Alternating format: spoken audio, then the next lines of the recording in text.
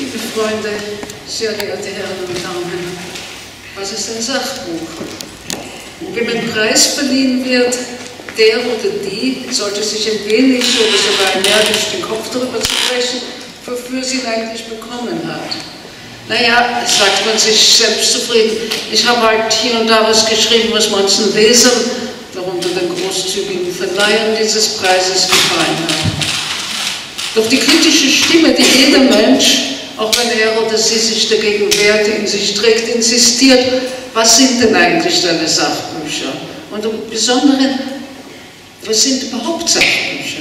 Sind meine literaturkritischen und interpretorischen Werken Arbeiten, die ich als Wissenschaftlerin in meiner Universitätskarriere verfasst habe, sind sie einen Preis wert?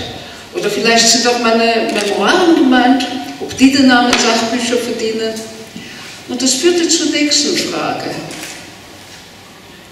zur Frage nach der Kategorie, ganz abgesehen von der Qualität. Ein Sachbuchpreis. Was genau genommen ist ein Sachbuch? Die leichtfertige, impulsive Antwort auf diese Frage, die auch zum Teil beim äh, äh, lieber Laudator Erich Hackel am Anfang gegeben hat, ist ein Sachbuch, ist ein Buch über Technik oder eines das Kochrezepte oder gute Ratschläge, wie man das und jenes zusammenbastelt, vermittelt.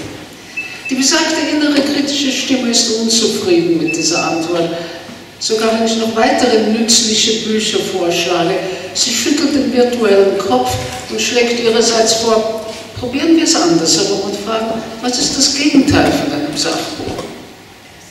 Im Englischen ist der Unterschied, wie er in den Bestsellerlisten der New York Times steht, Fiction und Non-Fiction. Hört sich einfach an, entweder erfunden oder nicht erfunden. Im Deutschen wird es komplizierter. Im Spiegel steht neben der Sachbuchliste ein Begriff, der von woanders herkommt, nämlich die Rubrik Belletristik, also schöne Literatur. Praktisches gegen Schöngeistiges? Wieso? Viele Romane und andere und anderer erfundener Quatsch, der sich gut verkauft, sind alles andere als schöngeistig, werden aber urteilslos, weil Plot und Personen erfunden sind in dieser Kategorie untergebracht. Unter Non-Fiction lässt man im Englischen auch die Werke der Geisteswissenschaften gelten, die in der deutschen Definition dort eigentlich nicht hingehören würden, weil sie auf die andere Seite, die belletristische, wandern müssten, zum Beispiel manche Historiker, von Thukydides bis Gibbon, die zum festen Bestand der Weltliteratur gehören. Somit sind gerade die besten dieser Gattung sowohl Sachbuch wie auch Belletristik.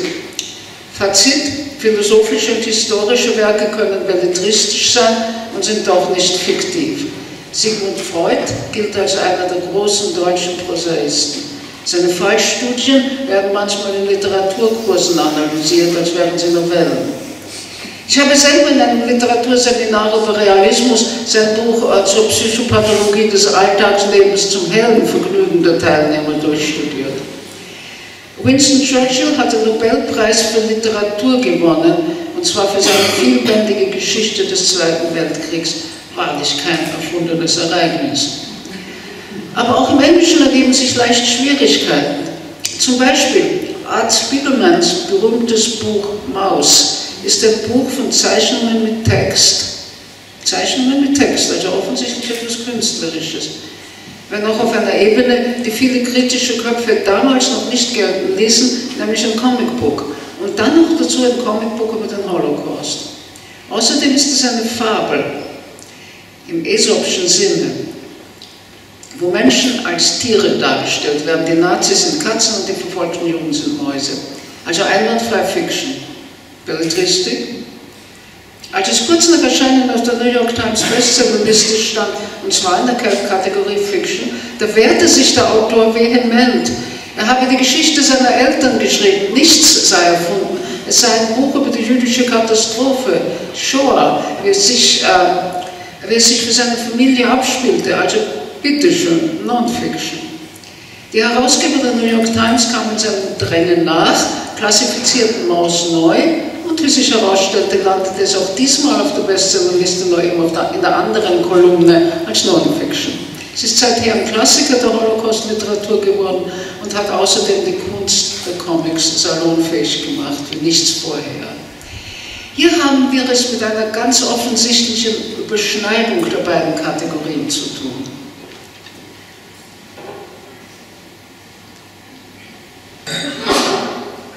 Spiegelmans Fall ist relevant für mein Schreiben, denn meine Autobiografie, die vor 20 Jahren erschien, wird trotz meines nicht minder vehementen Widerspruchs immer noch oft als Roman vorgestellt. Mein Widerspruch ist derselbe wie Spiegelmans. Hier ist nichts erfunden. Hätte ich erfunden, so argumentiere ich, so würde ich ja lügen. Diese stringente Unterscheidung zwischen Erfinden und Lügen zeigt, wie wichtig der Begriff Sachbuch für die Literaturtheorie im Allgemeinen ist und wie viel wir von ihm lernen können, gerade wenn er sich als vielschichtiger herausstellt, als man auf Anhieb glaubt. Hier geht es nicht um semantische Spielereien. Es ging und geht darum, die große Judenverfolgung nicht zu verharmlosen. Es geht um die Wahrheit. Denn erfinden darf man nur, wenn man den Leser zuvor gewarnt hat, wenn man also offen und bewusst Fiction schreibt. Im Deutschen kommt dann allerdings dieses andere Wort, das Wort Belletristik dazu, das Wort der schönen Literatur bedeutet.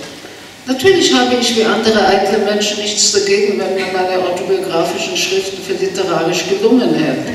Von diesem Standpunkt ist mir die deutsche Kategorie lieber, auch wenn ich beharren muss, so ist es gewesen, dieses Non-Fiction. Alle Autobiografie ist ein Stück Geschichte, auch die persönlichste Form von Geschichte, äh, nämlich die persönlichste Form von Geschichte. Und es ist nicht zu verwechseln mit einem Geschichtenerzählen. Beim Schreiben habe ich der Versuchung widerstanden, hier und da schön zu färben oder gar anschauliche Anekdoten zu finden. Trotzdem sind es gerade die freundlichsten Leserinnen, die mein Buch mit der Bezeichnung Roman als literarisch hochwertig vorstellen und loben wollen. Aber Roman bezeichnet eine Gattung und ist kein Werturteil. Ich berichtige dann gewöhnlich, indem ich sage, ich wollte, es wäre ein Roman, im Sinne von, ich wollte, das alles wäre nicht passiert. Im Frühjahr dieses Jahres wurde mir nochmals deutlich, wie viel der Unterschied ausmacht. Und zwar diesmal ganz unfreundlich von einer ablehnenden, sogar gehässigen Seite. Ich hatte am 5. Mai hier in Wien im Parlament die Rede zum Gedenktag an die Opfer des Nationalsozialismus und an die Befreiung von Mauthausen gehalten und dabei meine eigene Erinnerung als Kind in Auschwitz-Birkenau eingebracht. Kurz darauf erschien in einer Zeitschrift namens Aula, ein Name, der eine akademische, zumindest studentische Verbindung suggeriert, so erschien ein höhnischer Artikel mit dem Titel Lügt und Klüger, der meine Erinnerungen in Frage stellte und somit ein Feuerchen unter die sogenannte Auschwitz-Lüge wieder anfachte, ohne sich direkt anfachtbar, anfechtbar und strafbar zu machen, denn es ging dem Schreiber ja scheinbar nur um meine persönlichen Aussagen, nicht um einen etwaigen Zweifel am historischen Geschehen. Meine Geschichte ist unwahrscheinlich, aber sie hat sich so zugetragen, wie ich sie beschrieben hatte. Ohne es zu wollen, hatte der Schreiber des Artikels in der Aula die Frage nach der Bedeutung des Sachbuchs auf einen Punkt gebracht. Denn wenn ich erfunden hätte, so wäre das tatsächlich Lüge und nicht Fiktion gewesen. Er war fixiert darauf, dass es unwahrscheinlich klang. Dabei drehte es sich interessanterweise beim Stein des Anstoßes diesmal verblüffenderweise um eine eindeutig literarische Produktion, nämlich um ein Gedicht, das ich im KZ verfasst hatte.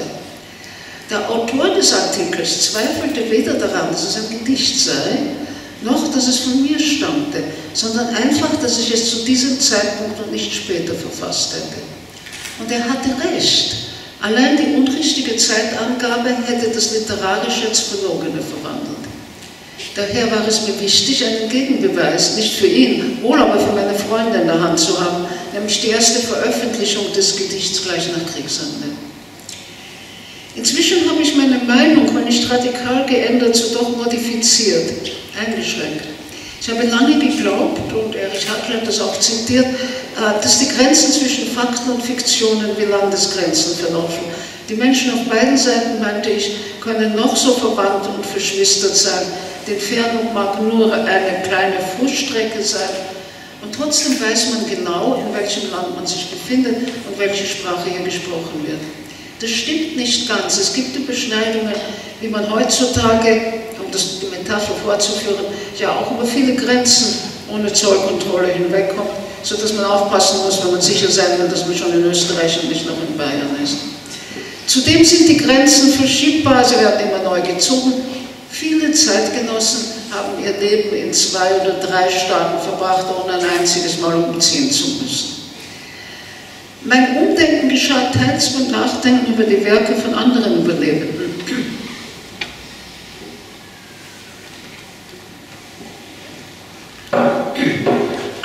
Überlebende, die nicht in der ersten Person schrieben, sondern in der dritten, also fiktiven Helden das Wort gaben über das Leben im Lager und doch von der Wirklichkeit handeln.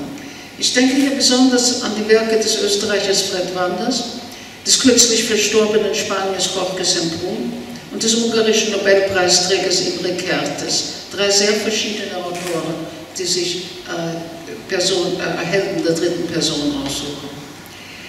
In der jüngeren äh, Generation kommen zu den genannten Zeitzeugen, wie man gerne sagt, noch die Arbeiten von meinem lieben heutigen äh, Laudator Erich Hackel. Denn er ist ein ganz bewusster Grenzgänger, von dem ich viel gelernt habe. Ein Chronist, wie er sich gerne nennt, dem die Fakten wichtiger sind als die Fiktionen, obwohl oder weil er über beides verfügt. Gelernt habe ich zum Beispiel von ihm, das Kontrastpaar wahrscheinlich unwahrscheinlich einzusetzen, wie ich es eben ausprobiert habe. In seiner Dankrede für den Danubius-Preis von 2006 hat Erich Hackel einen denkwürdigen, wenn auch schwierigen Satz gesprochen. Zitat. Womöglich bildet gerade das Gegensatzpaar wahrscheinlich unwahrscheinlich die Grenze zwischen faktischer und fiktiver Literatur. Erstere kümmern Fälle, die tatsächlich geschehen sind und besteht auf diesen Tatsachen, auch wenn sie den Lesern unwahrscheinlich vorkommen, während letztere das Primat des Wahrscheinlichen anerkennt und ihm um jeden Preis gerecht werden will.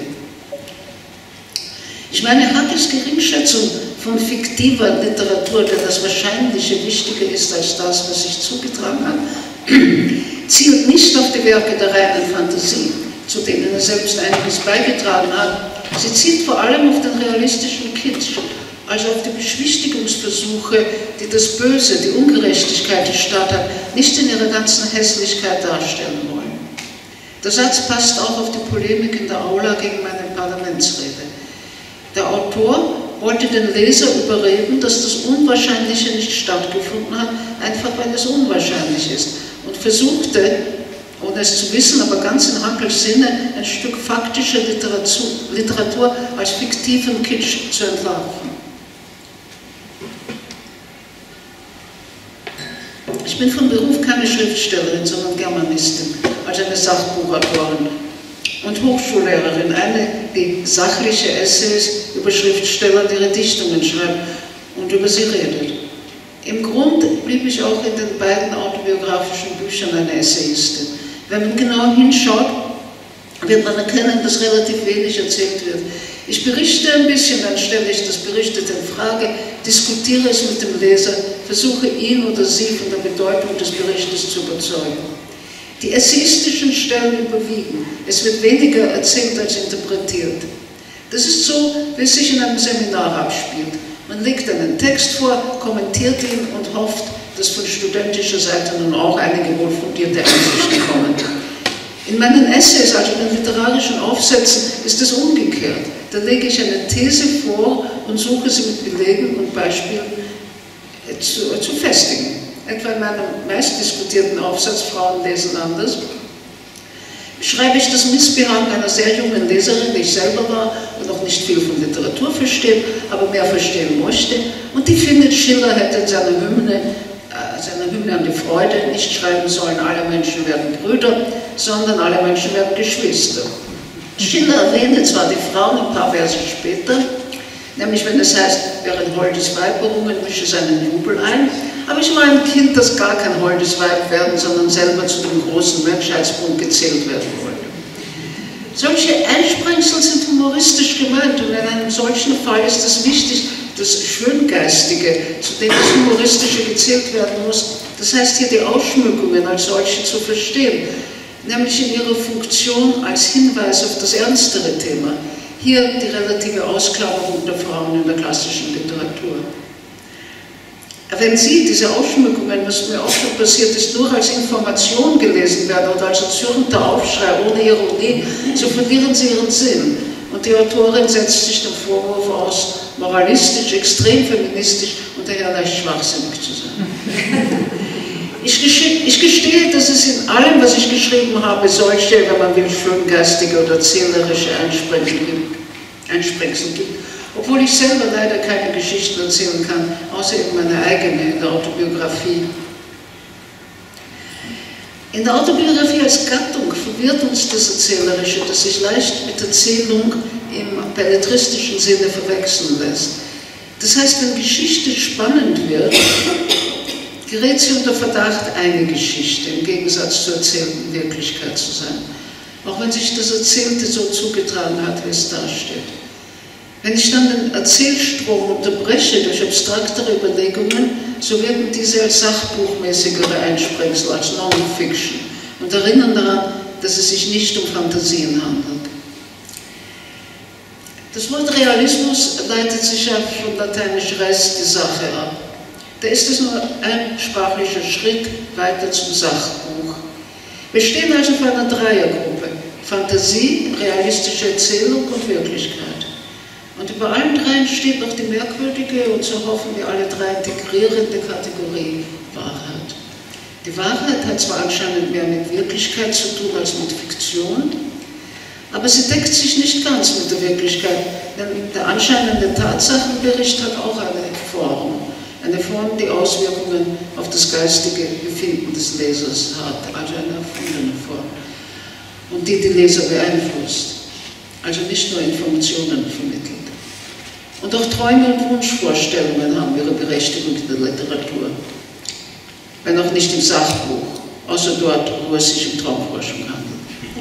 Sie sehen, die heutige Feier des Sachbuchs schlechthin, weit über die Verdienste der diesjährigen Preisträgerin hinaus, verleitet zum Nachdenken über die Wahrheit und die Unterschiede zwischen Kunst und Lüge. Nachdenken über das, was Sachlichkeit und Wirklichkeit und ihr Gegenteil sind. Ein Sachbuch ist ein Wirklichkeitsbuch. Wenn eine Prise Kunst dazukommt, kann es sich aus der Wirklichkeit zur Wahrheit steigern. Ich danke Ihnen und besonders meinem Laudator für diese Ehrung.